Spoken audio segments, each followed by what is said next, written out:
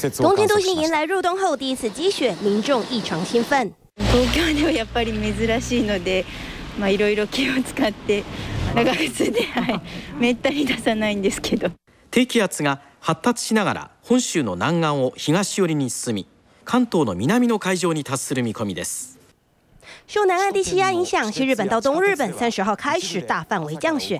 东京首都圈地铁部分班次误点，羽田机场也有数十个航班停飞，交通大受影响。機体キャンセルして次の便にしたんですけど、実際は飛んでたんでちょっと今待ってます。こちらは八王子市役所です。私の目の前には市の職員が今日3回目だという雪かきを行っています。 积雪冻结造成路面打滑，关东地区神奈川县和埼玉县已经至少十五人因此而受伤。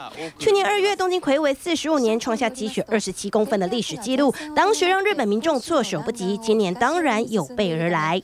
大雪器具卖场扩大十倍空间，除雪铲子、雪靴、鞋子止滑器、融雪剂一应俱全。NHK 記者贴心提供民众大雪对策。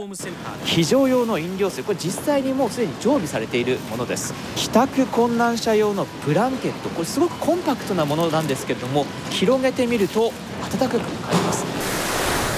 东京高速公路局公务车紧急装入大量融雪剂，公务车从去年八台新增到五十三台，要保证民众行车安全。